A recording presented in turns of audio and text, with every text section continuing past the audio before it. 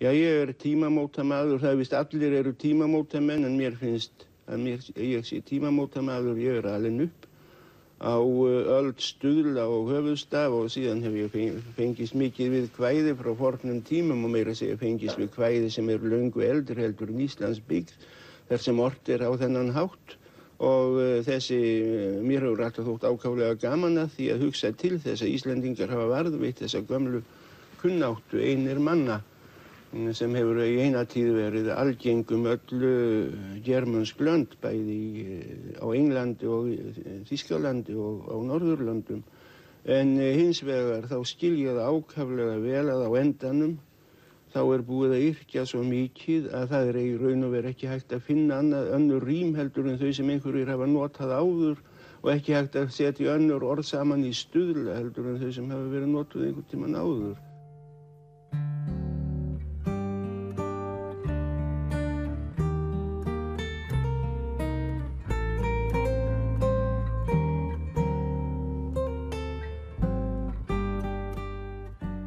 Heimsbyggideild hefur á fundi sínum 18. september 1974 samþygt að sæma doktor Jón Helgason, professor emeritus, tillinum doktor litterarum Íslandikarum honoris causa.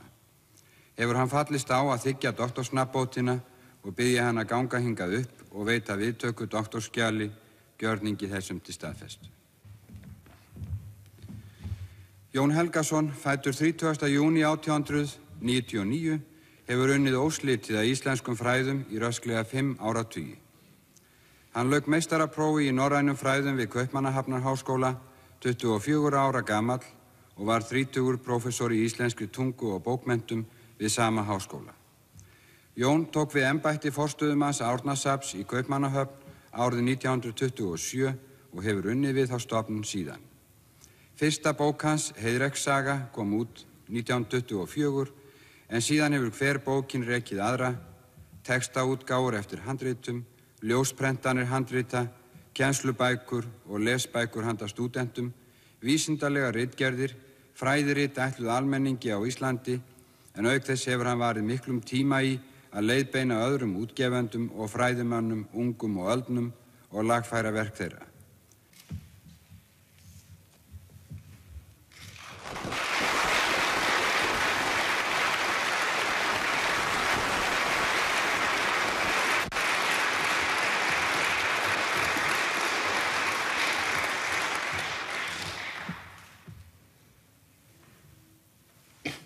Mín bók, svo bók sem ég minnist af þessari stundu, heitir Ecclesiastes.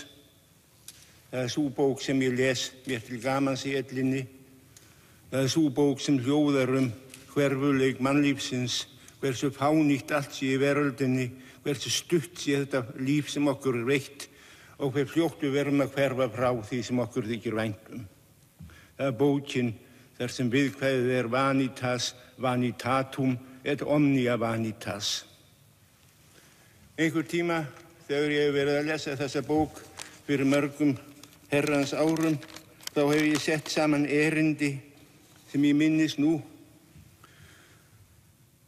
Oss kemur stundum í hug um þau verk sem við vinnum, um þau verk sem ég vinnum að vonir sé til að þú haldi sér, geimist og standi um aldur skal þetta mikla takhaft í minnum hvað maurinn hann var að rógast með strábút í sandi. Mér finnst alltaf að ég hefur rógast með strábút í sandi og ekki komist miklu lengra og nú þegar ég hef heyrt þessa greinargerð fyrir öllu því sem ég á að hafa gert þá uh, fer ég að ímynda mér að sumum mönnum hafi glapist sín og kalli strábútin annarkort raft eða staur eða eitthvað þess áttar en aldrei, aldrei hefði búist við slíku. En þau orð sem hafa verið töluð til mín af einlægni, jáfnveil þó að ég hafi hugsað á meðan þú voru lesin yfir mér, þá hefur stundum dottið í hug það gamla, það sem gamla fólkið sagði, það var nú og þegar þið heyrði eitthvað ótrúlegt eins úr því að þessi orð, og ég veit að þessi orð hafi verið töluð til minni fullri einlægni, þá vil ég ekki síður af fullri einlægni, það er bæði ljúft og skilt, að þakka fyrir þann heiður sem mér eru veittur með þessu að veita mér þessa nafnbót, jáfnvel þó að ég ekki mjög, sækist ekki mikið eftir nafnbótum.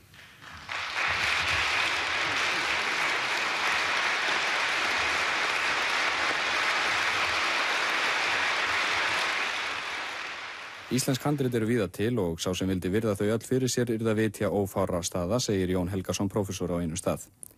Sjálfur aðalkjarnin, það er að segja skrifaðar bækur miðalda og svo sem hálrar annarar aldar eftir síðaskipti, er mestallur í Kaupmannahöfn, nokkuð í Stokkólmi og lítið eitt í Uppsölum. Í landsbókasafni, þar sem þessi myndir tekin, er handrítasafn sem er mikið af vöxtum en langmestur hluti þess er frá 18. og 19. öld. Áhugi Íslendinga á fornbókmentum sínu jógst verulega á þessari öld og áttu þar mikinn hluta máli ymsir fræðimenn sem unnið útgáfum íslenskra fornrýta undir rittstjórn og handleyslu Sigurða Nordals en hann var profesor í bókmentum við háskólan frá 1918 til 1945. Profesor Jón Helgarsson hefur án efa unnið manna mest að rannsóknum á þeim íslensku handritum sem varðveitt hafa verið í Kaupmannahöfn. Hann hefur verið fórstöðumadur Árnasaps lengur en okkur annar eða í rúm 40 ár en jafnframt profesor í forn íslenskri tungu og bókmentum við Hafnarháskóla eftir maður Finns Jónssonar profesors. Þessi kvikmynd var tekin í Árnasafni fyrir tæpum 5 árum og er profesor Jón hér að handleika Flategjarbók og konungsbók Eddukvæða. Segðu mér Jón, þegar þú fórst utan, ungur maður, að lokna stúdinsprófi, 17 ára gammal var það ekki, hafður þá ekki higgja að uh, koma heim eftir að lokna námi og taka upp störfu hérna? Já, ég myndi nú helst halda að ég haf ekki haft nokkur skapaðan hlut í higgju. Annað heldur en það að uh, ég dróst að tilteknum hlutum og uh, þegar ég minnist þessara ára þá undrast ég það mest að ég skildi yfir einn vetur í Kaupmannhöfn á þess að sjá nokkuð tíma að skrifa það bók, handrit á skinni eða á pappír. En uh, frá því að ég byrjaði á að líta á þess áttar bækur frá því ég var 18 ára gamal þá verð ég að segja að uh, ég hef hverki unað mér annar staðar heldur en í námunda við þær. Þannig að uh, að mörgu leiti þá vegna þess að þannig stendur á að þessar bækur og flestar gemdir erlendis þá get ég sagt að ég hef unað hag mínum tiltölulega vel að vera innan um þær. Í árnasafni. Innan við múrveikin átti ég laungum mitt sæti, utan við kvíkaði borgin með gnísin og læti, hálfvegis vakandi, hálfvegis eins og í draumi hyrði ég þungan í aldanna sígandi ströymi. Undrandi rendi ég augum með bókana röðum, eljuverk þúsunda varðveitt á skrifuðum blöðum, hvar sem ég fletti við eirum ég er ólguð og sungu uppsprettu lindir og niðandi vöttminnar tungu. Las ég þar hvæði með kenningum, römmum og fornum, kerlögur bölverks var reytur í sterklegum hornum, Ginnandi kingi í goðjaðar sveginni dökkri, galdur og kveðandi djúftin í heiðnina rökkri. Las ég þar sálma og lofsöngva þjóðar í nauðum, lífsvonin eina var samtvinnuð krossinum rauðum, yfirtak langt bak við ömurleik, hungurs og sorgar, ómuðu sætlega strengleikar himneskrar borgar. Oft sinnis meðan ég þreyti hinn fornlegu fræði fannst mér sem skrifarinn sjálfur hinn næsta mér stæði. Hugurinn sá yfir hlikkjóttum stafana baugum, hendur sem forðum var stjórnað af lífandi taugum. Ólík er túninu gatan og glerrúðan skjánum, glimjandi strætisins frábrugðin suðin í ánum, lífskjörin önnur, en físnin til fróðlegs og skrifta fannst okkur báðum úr dustinu huganum lifta. Vassfallið streymir af ókunnum öræfa leiðum, andblærin líður um túnið af fjarlægum heiðum, kveiking frá hugskoti handan við myrkvaða boga, hittir í sálminni tundur og glæðist í loga. Stundum var líka sem brimgnýr er þaut mér í blóði, bergmál af horfinna kynnslóða sögum og ljóði. Hróðugur hvað ég þá stef mín í stuðlana skorðum, Stopnun er gamal, þótt laufið sé annað en forðum. Hvíslar mér jafnan á orðlausu máli hér inni eyðingin hljóða, en þótt hún sé lámælt að sinni vinnur hún daglangt og árlangt um eilívar tíðir örug og máttug og hennar skal ríkið um síðir. Senn er þess vonað úr sessinu mínum í víki, senn skal mér stemtinn í skuggana fjölmenna ríki, spurji þá einhver hvar athafna minna sér staði, er það í fáeinum línum á gulnuðu blaði. Bókfellið velkist og stafirnir fyrnast á fúna, fellur í gleimsku það orð sem er lífandi núna, leggsteinin springur og letur hans máist í vindum, losnar og raknar sá hnútur sem tröstast við bindum.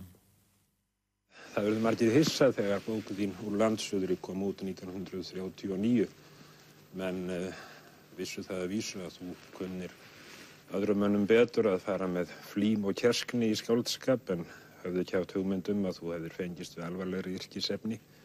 Hvernig var það með þessi ljóð? Uh, voru þau nýju orð þegar þau komu út eða hafður þau orði á lengra tímabili? Já, ef ég nú myndi það, en uh, ég hygg að hafi verið hvort tveggja sem þeirra voru tiltölulega nýja, annað var eitthvað dálítið eldra en ég hafði farið með þetta eins og mannsmorð. Það var eitt kvöld. Það var eitt kvöld að mér heyrðist hálfegis barið. Ég hlustað um stund og tók af kertinu skarið. Ég kallaði fram og kvöldgólan veitti mér svarið. Hér kvatti lífið sér dýra og nú er það farið. Í þessum kvæðum sumstaðar þá uh, koma fram atriði sem eru tengt persónalugum tilfinningum þínum. Ég man eftir því að þú hefur þar uh, sumstaðar haft orð á því að þér finnist eins og tækifæri hafi farið fram hjá þér. Hér hvati lífið sér dýra og nú er það farið, segir þú einum stað. Uh, varstu einhver tíman með hugmyndur um annað hlutskipti en að vera fræðimaður? Ég hygg að uh, einhver erfiðasti ammælistagur sem ég hef átt að hafi verið þegar ég var þrítugur. Þá fannst mér ég var orðin fjör gamall og þetta mun líklega vera orðt einhver tíma og það leiti, geti ég best trúað. Þá uh, verður mann auðvitað að hugsa til þess hvort maður hefði kosið rétt eða hvort maður hefði heldur átt að gera eitthvað annað. Og uh, þetta hefur að vísu fyllt mér alla æfi að ég hef fundið til þess hversu fánýtt það er sem ég fæst við. En hins vegar ef ég fer að aðtuga hvað aðrir menn fást við þá finnst mér að nálega álíka fánýtt til að mynda læknar. Þeir geta haldið lífinu í fólki kannski fimm árum lengur heldur en hefði verið ef enginn hefði verið læknirinn en til hvers hvað, hvað, uh, hvað uh, hagur er að því að fá fimm árum bætt við æfi sína. Þetta endar allt saman á einn veg hvort þið er. Þannig að ég hef smátt og smátt sætt mig betur og betur við þetta undarlega hlutskipti og ekki fundist það óveglegur heldur en hlutskipti margra annara. Einn. Einn hef ég barn á óstyrkum fótum tífað. Einn hef ég fullorðin þarfi litlar bækur skrifað. Einn hef ég vitað mín álög sem varð ekki bifað. Einn mun ég heia mitt stríð þegar nóg er lifað.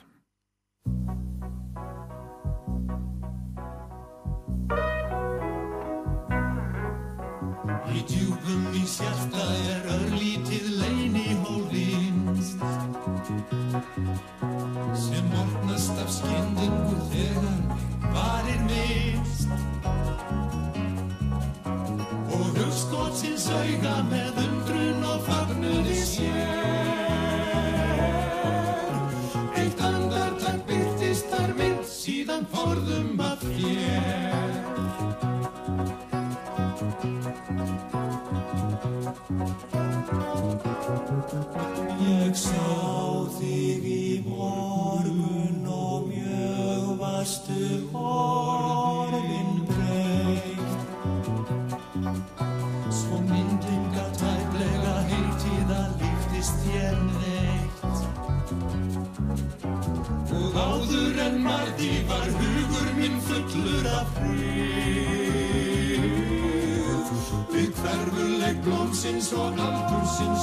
since we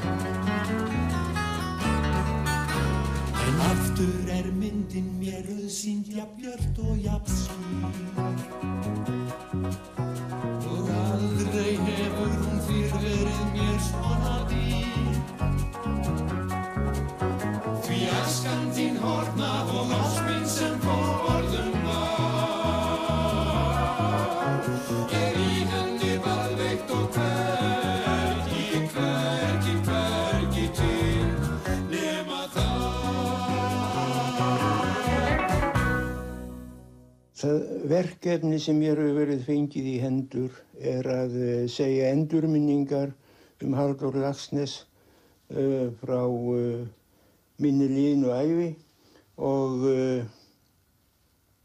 þá myndi vera eðlilegt að ég byrjaði á að segja hvenær ég mun hafa séð hann fyrst. Það var fyrir mörgum, mörgum árum hér í Kaupmannahöfn að þegar skip fóru frá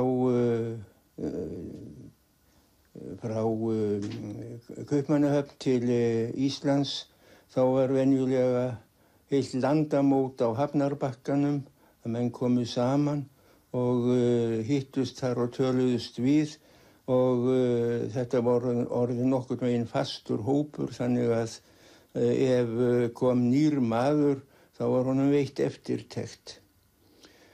Það var einhvern tíman á því líkum degi að uh, ég kom þarna niður eftir og uh, sá þá nýstárlegan mann sem ég hafði ekki séð áður fyrr, ungan mann með glerugu sem hann átti greinilega í vandræðu með að hemja á sér og uh, stóð þar álengdar og horfði yfir mannhópin með dálítið skáldlegu yfirbragði sem uh, mér fannst í þá tíð uh, spauilegt þegar menn uh, voru með þess áttar svip. Ég talaði þá við sýsturnar úr Gravarholti, Guðrúnu og Þórunni sem setna var kona mín og uh, þær sagðu mér að þetta væri sveitungi þeirra úr Moselsveit og hétti Halldór frá Lagsnesi Lagsnesnafnið var þá ekki komið enn og uh, væri, ætlaði sér að verða skáld. Ég man ekki hvort við tölumst nokkuð við að þessu sinni en setna kynntist ég honum meira. Hann uh, mun þá hafa átt heima við sömu götu eins og ég á Sjörsteinsveg í Kaupmannahöfn og uh, hafði þar, ef ég man rétt, ákaflega uh, kalt herbergi, illa upphýtað og satt þar og skrifaði og skrifaði lón og dón dag og nótt því að hann bráð á að semja sem allra mest. Og einhvern veginn atvikaðist það svo að ég uh, sá eitthvað að þessu, leit, af, leit á einhver blöð hjá honum, mig minnir að væri eitthvað til sem hann kallaði rauða hverið sem ég hafi þá litið á og farið í eilítið betur, ég fengi fengið léð heim og að minnstakosti þá þóttist ég sjá að þarna væri eitthvað nýtt á ferðinni, eitthvað annað en svo loðmulla sem þá var allt fullt af í íslenskir bókagerð. Þannig atvikaðist það að uh, við erum kunningjar og uh, setna hefur þessu sambandi verið haldið áfram. Haldur mun aldrei hafa komið svo til kaupmannahafnar en hafi ekki látið til sín heyra. Hann hefur reynst bæði tryggur og vanafastur vínur. Ólimpíuleikar Undir blaktandi fánum og herlúðrum, hvellum og gjöllum sig hópaði þjóðanna sapn. Þangað fór og af Íslandi flokkur af keppendum snjöllum og fjekk á sig töluvert nafn. Í þeirri íþrótt að komast aftur úr öllum var engin í heimi þeim jafn. Sum þessi kvæði eru greinilega bundin við e, tiltekin atvik. til dæmis lestin brunar þar sem þú ávarpar einhvern og, og ræðir um mismunandi hlutskipti ykkar. Já. Getur þú nokkuð sagt mér um ég- þess kvæðis? Þar ávarpaði ég þá mannesku sem aldrei fekk að vita af ávarpun og aldrei vissi að hún var ávörpuð. En eh, mér er svo sem engin launung á því, ég get vel sagt frá hvernig þetta kvæði var til, að ég var stattur í Oslo og var á leið til Kaupmannahafnar og þá var samferða mér í klefa í jólbrutarvagni, það var uh, norsk stúlka sem var uh, kátt og fjöru og við töluðum saman eina dagstund svona frá því um morgunin og þangað til einhver tíman síðdegis. Og ég veit ekki eins og hvað hún hét, ég veit hún hét Ragnhildur á fornafn og meira veit ég ekki og uh, þegar við skildum svo einhver staðar á Skáni, það var vist í Hestlihólmi Hólmi þá uh, uh, og hún var að fara til Parísar og ætlaði að fara að lesa frönsku, að læra frönsku og nú er það einn draumur minn sem alltaf hefur verið að ég geti komið svo langt í visku að skilja að tala það frönsku. Það er mér engin fyrirhöfn að lesa frönsku og bók en þegar frakkar tala það rennur allt í einn graut fyrir mér. Og það, var, það kom fyrir á þeim árum að mér langaði til þess að fara eitthvað út og verða eitthvað út í heim og verða eitthvað ofurlítið fróðari heldur en ég var. Sjá eitthvað, nema eitthvað sem ekki verður numið í svona útkjálka löndum eins og Norðurlöndum. Og uh, upp úr þessu mun þetta kvæði spunnið. Lestin brunar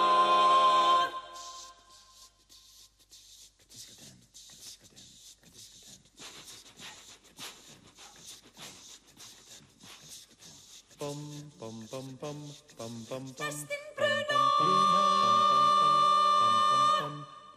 Lestin brunar, hraðar, hraðar, húfi ljósrák sker. Bráðum er þú einhver staðar, óra langt frá mér. Út í heim þú ferð að finna framan nýjan dag. Ég hverfinn til annan minna, allt er líkt og var. Þú átt blóðsins heita hraða, hugar liftur kvik. Auðlaug mín er útsketsblada, alda gamalt rík. En nú liggja leiðir sundur ljósinn blíka kvöld. Aldrei verður okkar fundur eftir þetta kvöld. Gegnum hausinn súmið þétta hugminn víða ber. Aldrei mundu af því frétta að hann fylgir þér. Aldrei spyrðu alla daga að í kvöld ég hef. Ort á tungu istu skaga einstök fábreytt stef. Þegar brátt þín mynd og minning máist föl og hljóð, er til margsum okkar kynning aðeins þetta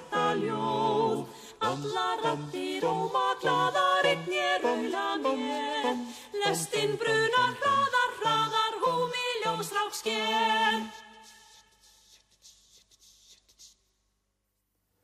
Það gerðist þá um þetta leiti að þau fóru að koma út í Berlingi, í sunnudags uh, uh, blöðum Berlings, fáinnar sögur frá Íslandi sem Haldur hafði samið og uh, voru að sjálfsögðu á dönsku og uh, þetta líkaði mér ekki alls kostar vel því að þetta var leiðinda vandamál á þeim tíma að Íslendingar, íslenskir ungir rithöfundar átti ekki kost á því að, að e, sáu sér einhvern annan betri kost heldur en að flýja úr landi og gera stönskáld. Það var undarlegur tvískinningur í þessu öllu saman að þá var alltaf verið að heimta meira og meira Íslands sjálfstæði en jáfnframt þá helst Ísland ekki á því sem hafði verið þess helsti sómi frá fornri tíð að þeir e, sömdu bækur og e, byggu til skálskap En uh, Íslands skáld hafðu hvert eftir annað flúið úr landi því að það var svo mikil vesöldin á Íslandi í þá tíð að það var ekki einsinni, er, ekki einsinni hægt að koma út bókum nefn með erfiðismunum. Ef maður hafði samið bók þá var það að vísu mikil vinna en uh, þó tók við ennþá, uh, ennþá meiri vinna og eftir að um, reyna til að fá peningar til þess að fá þessa bók jafn út á prent. Mér finnst þetta, þetta val mitt, það, það dregur fram það besta hjá Jóni Helgarsinni vegna þess að hann var í senn einkennilega þjóðlegur og alþjóðlegur. og uh, kannski svona útlægi svipað og þú. Þú hefur nú sjálfsagt séð drjúpa af öfsum húsins Erlend regn. Já, uh, það getur verið að um, það uh, sé pínlítið á bakvið þetta hjá mér en mér finnst líka eðlert að þegar maður er að velja svona ljóð í þátt eins og þennan þá reynir maður að finna eitthvað sem á einlega samsvörun í eigin brjústi. Eitt leindarmál geimi ég, böl er í hjarta mér hulið. Það hóst af skyndingu, varir gjörfalla tíð.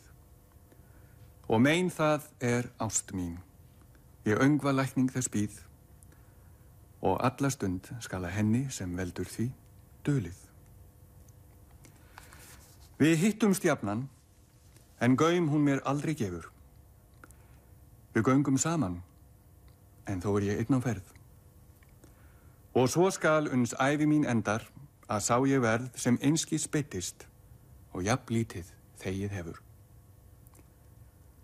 Svo reykar hún sem Guð hefur gert svo milda þá götu fram er býður hinn stránga skilda án vitundar hvílikan söng hún í spór sín fær seitt.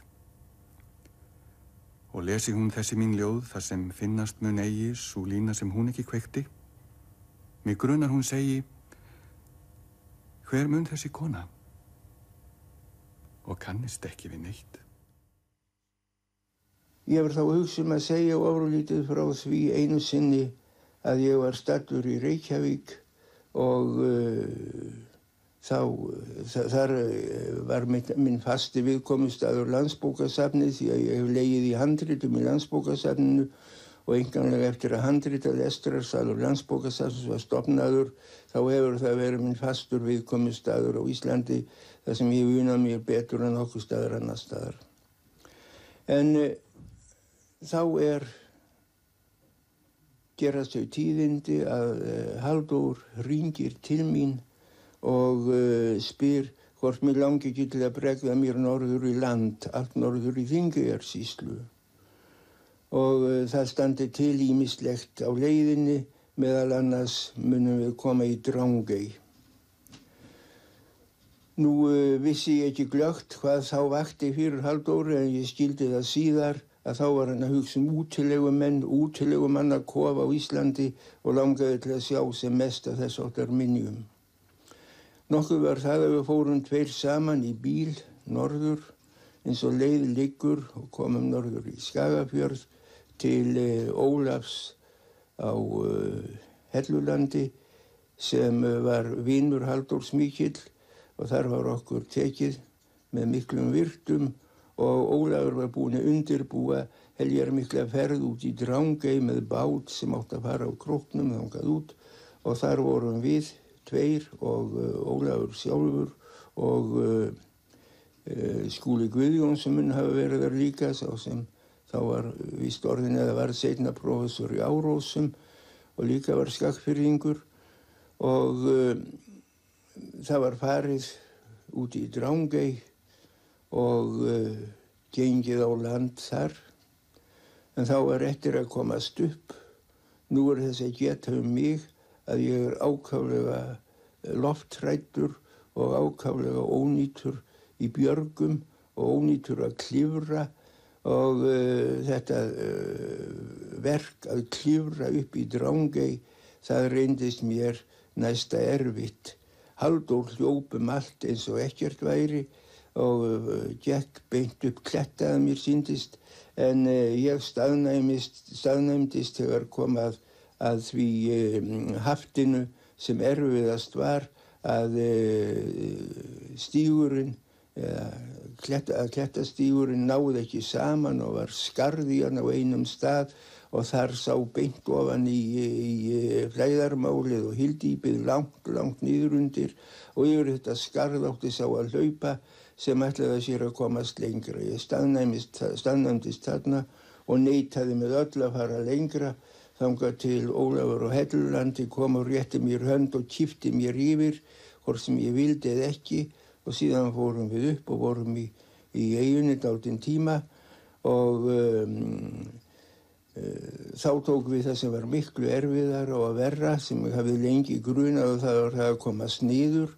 en að mista kosti tókst það þó endanum að ég hafði af að komast nýður í, í, í fjöru og var þá sætl og fegin að þetta var afstæðið og þó að þetta, þessi drangaerferð sé mér jafnan minnistæð af því hvað mér fannst hún skjálfileg þá um, uh, er ég fegin því að ég þó komið í Drángei því að það að koma í Drángei gerir ennþá ljósara hversu mikil um, furðuleg grettis, furðulegt bókmyndafyrirtæki grettisfígúran er og hvernig hún getur verið til orðin það uh, læti ósagt og minn vist aldrei skilja.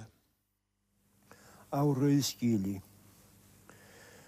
En ég um fellaflóan geng finn eins og títring í gömlum streng, hugan grunar hjá grassins rót, gamalt spor eftir lítinn fót.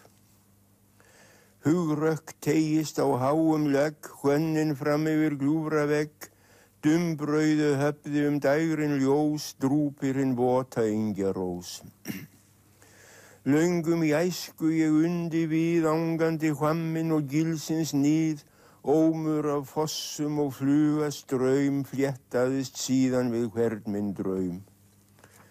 Mjaðar jurt, hvað þú ert mild og skjær, mjög er ég fegin sýstir kær aftur að hitta þig eina stund, atvíkin banna þó langan fund, handan við ókið er hafið grátt, heiðar fuggstefnir í suður átt, langt mun hans flug áður dagur dvín, Drýr er þó spölurinn heim til mín.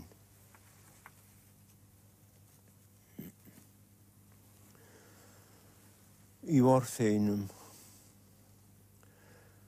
Á meðan brímið þværin skreipu sker og skíaflótar sigla yfir lönd þá spurja dægrin hvers vegna ertu hér hafreikið sprek á annarlegri strönd Það krækiling sem eitt sinn óks við klett og átt að vínum gambur, mós og stein er illa rætt og undarlega sett hjá aldinn tré með þung og frjóa grein.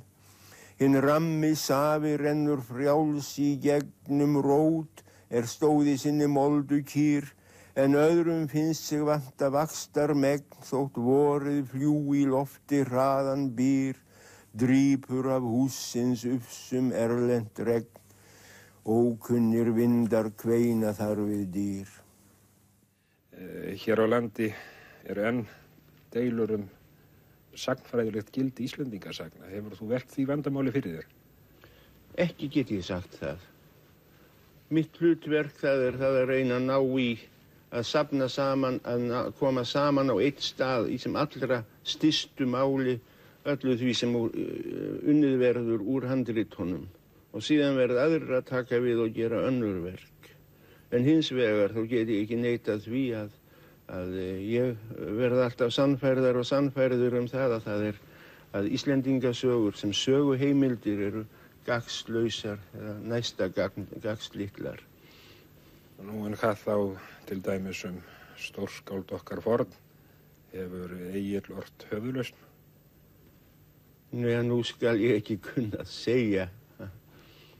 Ég er nú helst á þeirri trúan að hann hafi ekki orðana, að minnst ekki þá höfuðlaust sem nú er til, en hins vegar þá hef ég sett saman rittgerð um þetta uh, þó meira til þess að stríða mönnum heldur en að ég telji mig hafa fengið komist að nýðurstöðu sem ég sé sjálfur sannferður um að sé rétt.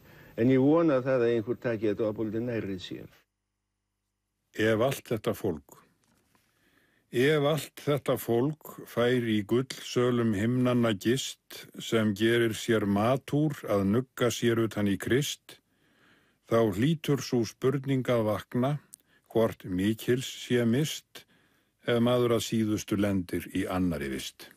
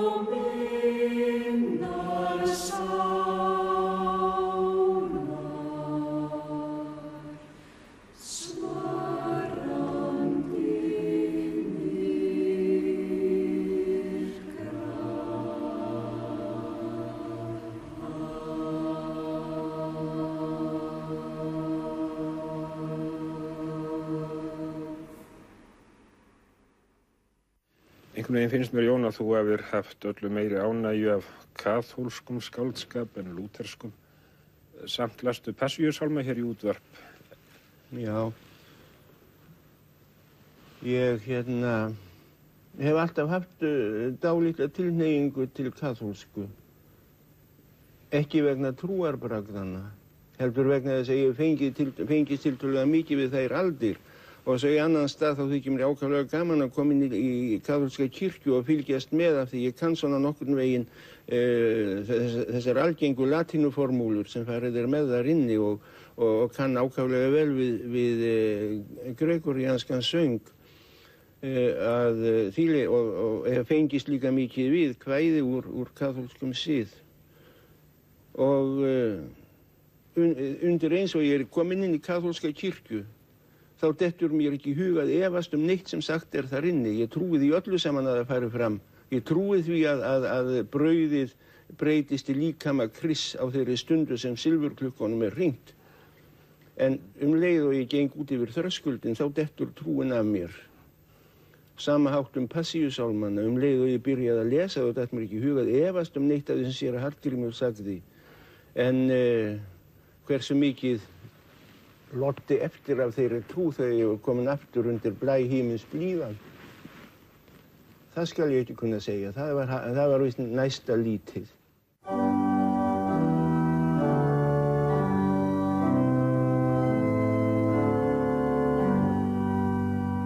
Upp, upp mín sál og allt mitt geð, upp mitt hjarta og rómur með, hugur og tunga hjálpi til, herrans pínu, eg minnast vil.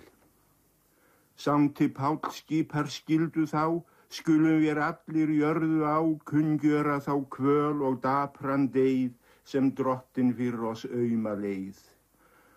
Ljúfan Jésum til lausnar mér langaði vist að deyja hér, mig skild og lista að minnast þess, mínum drottni til þakklætes. Innra mig loksins ángrið sker, Æ, hvað er lítil rætt í mér, Jésús er kvalinn í minn stað og sjaldan hef ég minnst á það. Gef mér Jésú að gá að því, glaskeri berið minn fjesjóði, viðvörun þína virðeg mest, veikleika holdsins er þú best. Ég gerði mér uh, heilmikið farum það að reyna að búa til eða ímynda mér hvernig mál sér að Hallgrím sjálfs hefði verið og ég þykist vita það svona í aðalatriðum en þar þrítur uh, því að um, þrítur mig því ef ég ætti að fara aftur um einu öld og til og með að reyna að lesa kvæði Jóns Arasonar með framburð hans sjálfs þá, er, þá veit ég ekki. Þá er, væri svo margt sem ég veit ekki hvernig var að ég treysti mér ekki til að reyna það. En sér að Hallgrími held ég að ég hafi uh, komist nokkuð nærri og mér þetta ekki huga sig að Pílatus eða Mari heldur það í Pílátus og ekki Jérúsalem heldur Jérúsálem og ekki Amen heldur Ámen. Og þetta var allt saman 17. aldar mál ég get þess hér ef einhver hefur undrast að þegar ég las sálmann þetta voru ekki mismæli heldur gert af ásettur á því Ég hef nú eiginlega falið hér annað tveggja ljóða sem Marianna von Willimer orti 1815 eftir að hafa verið nokkur samvistum við Göti á haustögum í Heidelberg. Fyrra ljóðið við ásturna vísu áður það hér til austanvindsins en það sem við fjallum um hér heitir til vestanvindsins. Þetta var mjög merkileg saga í kringum þetta því að Göti byrti þessi kvæði tvö undir sínu nafni 1819 í kvæðabálki og menn heldu að Göti hefði orta sem sagt og voru afskaplega hrifnir og merkileg tónskáld ortu við það lag, bæði ortu lög við bæði kvæðin. Svo kemur bara på dúrnum að þessi kona orti bæði kvæðin og uh, þau eru einstöku sín í röð og uh, ég veit ekki til þess að það var ort nokkuð fyrir það síðar. Þannig að það er merkilegt líka að þetta er svona ávísin á það að ljóð eru fyrst og næst tilfinningatriði og menn, fólk getur orðið skáld ef það ef, ef raunverulega hærist mikið upp í tilfinningu þeirra eða þess. En er þetta ljóð í einhverju sérstöku uppáhaldi hjá þér? Já, þetta hefur alltaf verið í uppáhaldi hjá mig síðan að það kom út að Jón Helgason, professor í Köpunöfn, þýtti þetta og það er náttúrulega er nú ekki verra vegna þess að það skiptir afskaplega ykkur máli hvernig svona ljóð eru færði yfir á annað tungumál. Og Jón hefur ég veit ekki nú ekki frum, frum, frum tunguna en þetta er afskaplega fallega kveðið. Fallega kveðið. Og mér finnst þetta líka góður skaldskapur vegna þess að þau var, var nú 35 ára á millera og uh, og þetta sýnir svona uh,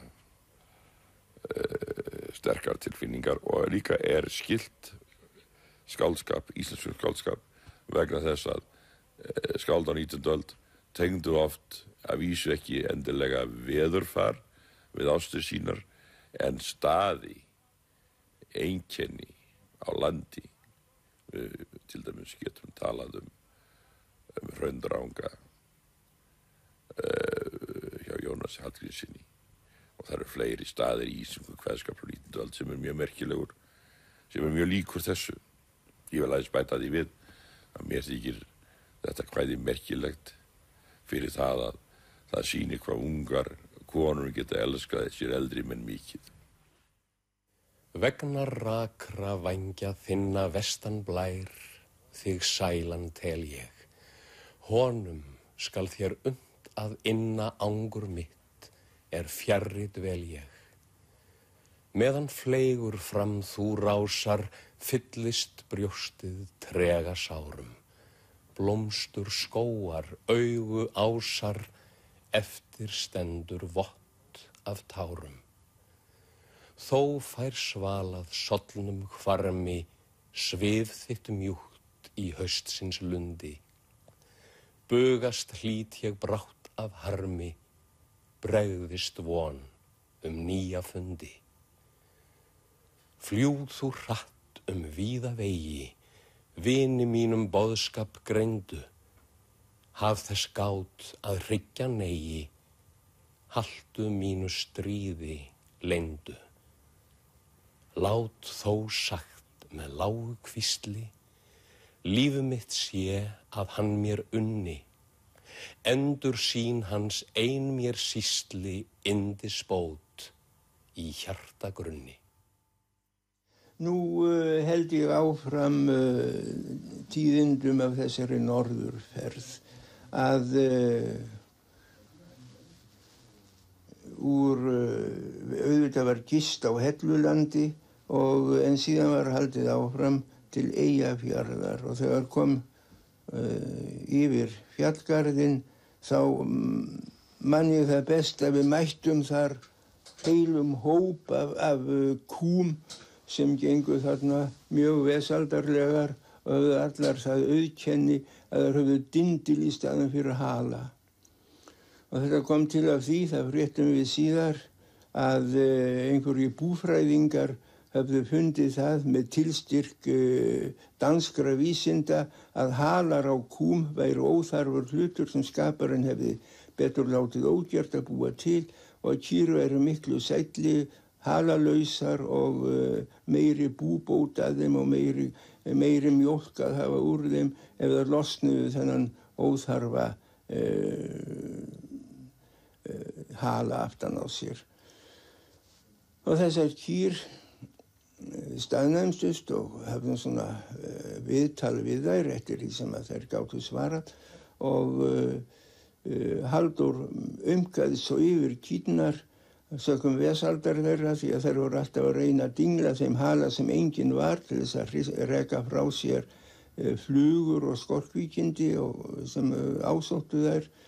Haldur var svo, fylgti svo mikill í miskun að hann sapnaði saman öllum karamellum og, og uh, súkulaði sem hann hafði haft með sér í bílnum og uh, helt kúnum uh, veislu með þessu og þær dingluðu sínum dindlum og þökkuðu fyrir. Þú yrkir á einum staðum purpurakápu skálskaparins. Tengda stuðlana Já, þrískiptu grein og orðkingi heiðinar drápu. Jú. Eh, hvað segir þau þá um þessa svokölluðu formbyltingu sem mörg íslensk skáld aðhyllast? Þeir hafa slitið tengslin við þessa fornu stuðla og ýmsa forna hefði í skáldskap Já. íslenskum. Jú, ég hlustaði einhvern tímann á erindi sem haldið var í Kaupmannahöfnum það að einn góðan veðurdag þá væri ekki hægt að semja fleiri bækur í veröldin eða á einhverju tilteknu tungumáli vegna þess að þá væri búið að setja öll þau orð sem væru um, í, uh, til í málinu saman á svo marga, marga vegu að nú væri hægt að bæta einum við. En að vísu væri nokkuð, þess að býða um nokkur, nokkura miljónir ára. Og eins skil ég það vel að skáld þau þreytast á þessu að vera að, að, nota sama rýmið ást og brást og annað þess áttar og um, ég uh, kann vel við þetta að menn brjótist, brjóti þessar viðjar af sér. Hins vegar verður ég að segja það að, uh, ég er of fastur í, ég er 19. aldar maður Ég er of gamall til þess að ég njóti svona kvæða verulega. Enda hef ég lætið það alltaf í veðri vaka að ég lesi aldrei neina bók hérna megin við 1680 og þó að það kunni kannski vera einhver ofur lítil ósannindi í því, eh, þá er um, agnar lítill kjarni á sannleika í því. Líðið er hátt á aðra öld, en mun þó reymt á kýli, þar sem í snjónum bræðra beið besklegur aldur tíli. Skuggar liftast og líðum hjarn, líkt eins og mynd á þýli. Hleypur svo einn með hæru sekk, hverfur í dimmu gíli. Þverhögg við gnapir þúfu bjargs rútið af lamstri veðra. Ægir greiðir því önnur slög, ekki hann mildur hérra. Yðkuð var þar á efstu brún í þróttin vorra feðra. Kolbeitt satt hæst á kletta snös, hvaðst á við hann úr neðra. Nú er í drítvík döfleg vist, drungalegt nesið kalda. Sjást ekki lengur seglin hvít sjóndeildar hringin tjalda. Trölla kirkjunar tíða söng tóna þau hér og alda. Full sterk mun þungt að færa á stall, fáir sem honum valda.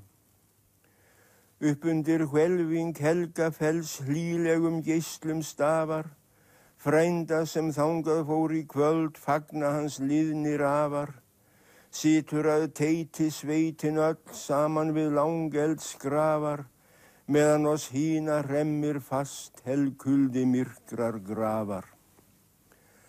Alvotur stendur upp að knjá möldu brjóturinn kargi, kagandi fram á kalda röst, kvíkur af fugglaþvargi.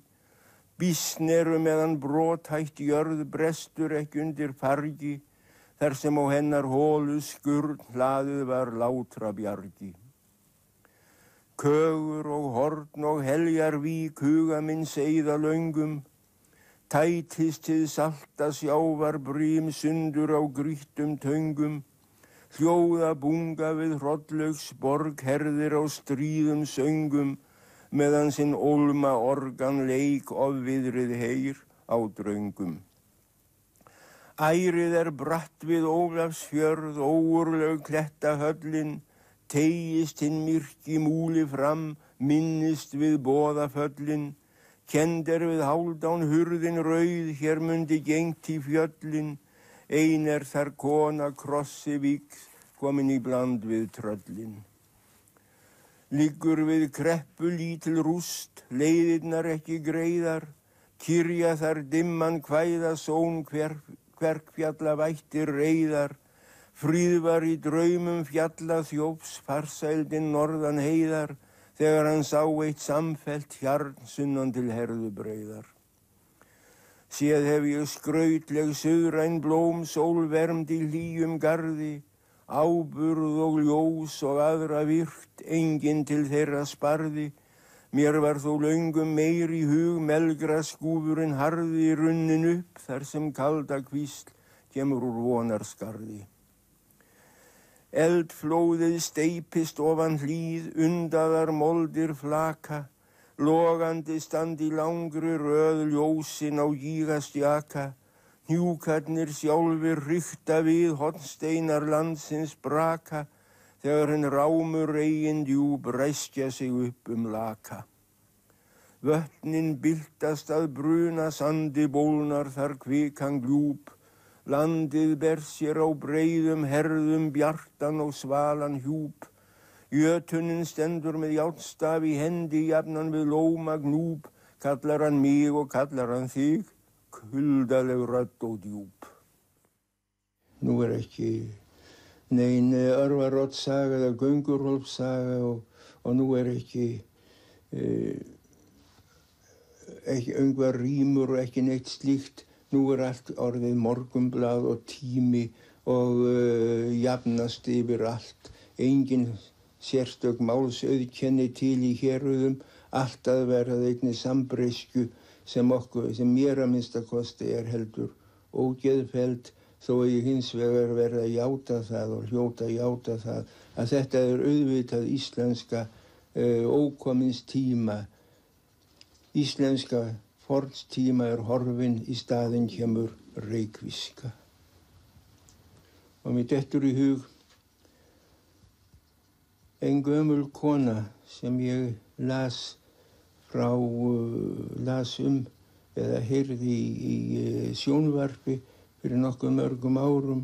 Hún var alin upp í Reykjavík einhver tíma fyrir aldamót og þegar hún var orðin fjör gömul kom hún aftur til Íslands og uh, uh, stóð þar við þá dálítinn tíma í sínum áttögum og svo komu bladamenn til að tala við hann og þeir komu fullir af eftir í vendingu eins og bladamenn eru. Þykir þér ekki, þykir þér ekki orðin breyting á öllu, þykir þér ekki e, þykir þér ekki göturnar orðin breyðar, þykir þér ekki gluggarnar orðin stórir og þykir þér ekki og þykir þér ekki. Ónátt að dástaða öllu þessu. En Kjelling satt og let ekki á sig fá og sagði Já, ég hef ekki veitt þessu svo miklu eftirtekt.